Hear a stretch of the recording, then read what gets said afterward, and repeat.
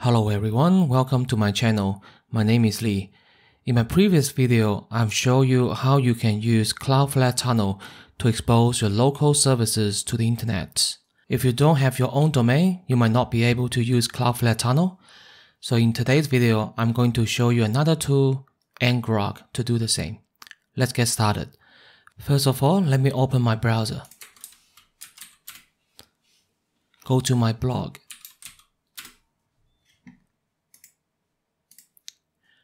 I'm going to follow this blog post to show you all the features today. So let me just go to ngrok's website, go to login, and let's go back to here. I'm going to open my terminal and then go to my local virtual machine. As you can see, currently I don't have any containers running and there is no files in the home directory. Okay, the first step we need to do is to create a Docker network called ngrok. Next, we are going to um, put the um, auth token uh, to environment variable. Let me just copy this. All right, and then come back to ngrok, get the auth token, copy, and that's it. Okay, then we can um, start our first ngrok container. Let me explain what this docker run command does. So first it will put an environment variable ngrok auth token, which is the same value as the one we just um, put in here. Then running this docker container on ngrok network with name ngrok. And then it will just use the ngrok alpine image running a HTTP tunnel um, to a services called Nginx on the ngrok network at port 80. Okay, so let's just copy, come back here, and run this command.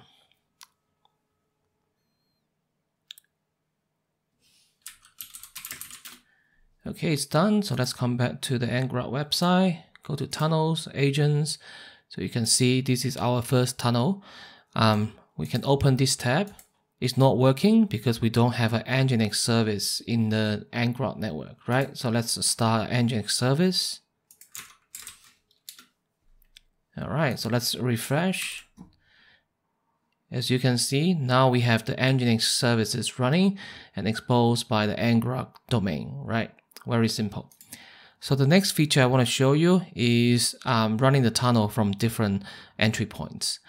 Uh, if you have watched my Cloudflare video before, you can know that Cloudflare sets the um, um, entry point um, to the nearest location of your host machine. ngrok does something similar. So in my case, I'm in Australia. So you can see the domain has .au here. Um, but ngrok also allow you to define different uh, entry points for um, for your needs. So um, for example, um, you can go to Uh, the, the regions list and go to regions and then you can find all these locations. So in this example, I'm going to show you how you can set the entry point to JP. Okay, so let's come back here and we will just stop all the containers.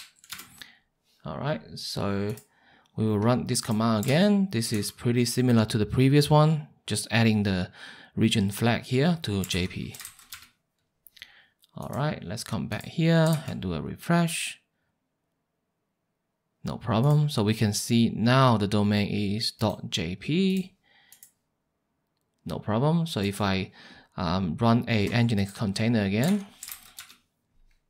and refresh, so our application is available from the Japan entry point, right? So if we refresh here, we can see the previous domain doesn't work anymore because uh, the tunnel uh, was terminated.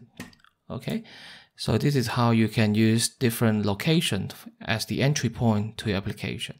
All right, so the next uh, function or features I want to show you is the TCP tunnel for SSH. So let me just stop my um, ngrok container. And so this is very useful when you need to expose your local VM to the internet temporarily, right? So let's say um, I need to go out for a couple hours, but I also want to work something on my local VM. I can use this method to expose the VM temporarily, so I can access that. Um, so the command is very similar, but uh, you can see instead of HTTP, I'm using TCP here. And also this is the IP of your uh, network gateway IP. If you have watched my other videos before, you know that in order for the Docker container to access the host, um, they need to go, go through the gateway IP, so network gateway IP. So let's come back to here and then let's try to find the gateway IP. Docker network inspect ngrok uh, network inspect. All right, so we can see the gateway IP is 172.23.0.1, right? So let's just copy here and change here to 2.3 right? And then come back to ngrok, do a refresh. We can see that now the tunnel is TCP tunnel, and then this is the domain and the ports we need to use. So let's come back to terminal, start a new um, window, and then let's go to SSH, the username, and then you can see the domain is the same. Port is different this time. So this time the port is 10032. If you don't have the SSH uh, private key, you can just like that. And then you'll be able to use the password to log in if your server allows you to. Of course, we can also use a um, SS um, private key. Key. As you can see here, so I'm accessing my local VMs uh, via the ngrok domain, right? pretty straightforward. You can actually do the same with Cloudflare Tunnel, but um, the last time I checked it, it's not as straightforward as ngrok. Okay, so let me just close this window and go back to my blog post and show you the next feature is to create a tunnel to serve the local directories. So let's say you've got some files you want to share with uh, with someone um, and you don't want to upload it to a drive or something, so you can use the ngrok to do the same.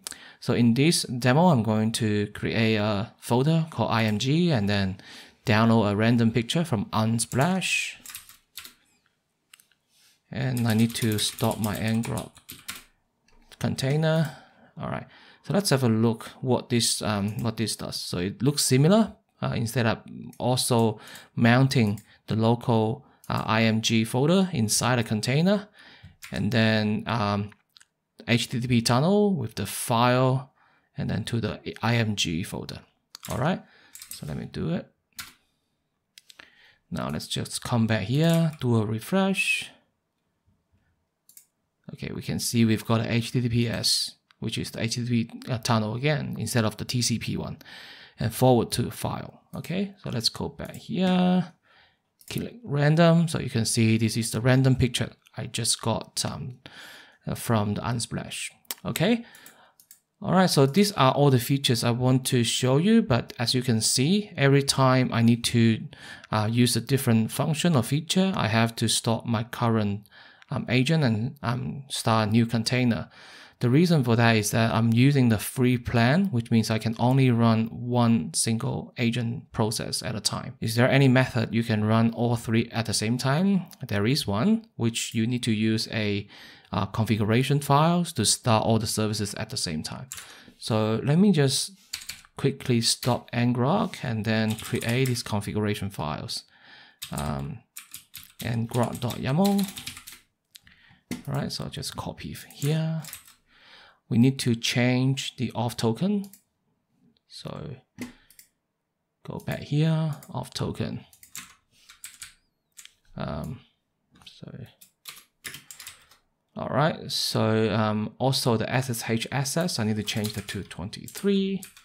All right. So let's go back here and then copy this command. So you can see I'm mounting these ngrok.yaml files inside the container at location slash etc slash ngrok.yaml and then tell ngrok where to find the configuration, right? And then when it starts, it need to start all tunnels at the same time, okay? Pretty straightforward. Let's try it. and come back to agents. All right, so as you can see, we've got three tunnels running now, right? So if we go to that website and click random, you can see the same pictures showing here. And this is from AU and this is from JP because on the configuration files, I've got region JP, right? So, yeah. and also the Nginx should work as well. So let's go there. Yeah, no problem. So this is how you can run three tunnels at the same time. Um, of course, ngrok provides so many other features that you can use. Uh, for example, you can add the host headers and also do some basic authentications. Let's say you want to expose your application, but at the same time, you want someone to authenticate themselves before they can actually uh, access your uh, application. So to do that, we need to just put the basic auth onto your um, config file. Um, I will put it under the Nginx service. So this is the username and then the password. All right, very secure. So um, stop the container and run again. Um, here. All right, so refresh. Let's go to Nginx now. You can see we need to enter a username and the password here, right? So this is how simple it is to add a basic auth to your applications, okay? There is another functions ngrok provide out of box, which is the web inspection interface. Um, to enable it, it's very simple. Just add this one line to your configuration files. So let's do that. I'm going to change my region back to Australia. And then we need to stop the container and then start the container again. But um, this time, because you can see um, the web inspection interface is listening on 4040, I need to expose my host machine 4040 port to the same map to the same uh, listening port of the container, right? So uh, let's run this command. And to find the IP address of my VM, this is the one. So I just go to 192.168.3.22 and 4040, and I can see this web inspection uh, interface here. So you don't need to go here again. Um, you've got all the tunnel URLs here. So uh, we can also see the status page. We can see the tunnel URL which is this one for the file. So random.jpg, right? We can get it. We can also go to Nginx and authenticate ourselves. And this is the SSH access one, right? So you can also inspect the traffic. So you can see I've just uh, went to this um, photo slash random.jpg, right? So you, you can see the information from here. So if I go to um, the Nginx one, and then demo. This is demo. Refresh several times. So we come back here go to inspection. You can see um, it goes to the root which is nginx. And then because it's the same request it will just 304 you can go back to the status page and see all the requests you have I, I just sent. And then to which tunnel right so I think in general, the web inspection interface is very useful if you need to um, see the status of all the uh, tunnels running. Um, and yeah, it's quite straightforward. Okay, so that's all I want to share with you today. If you have any questions, please leave them in the comment section. I'll try my best to get back to you. Thank you for watching and see you next time. Goodbye.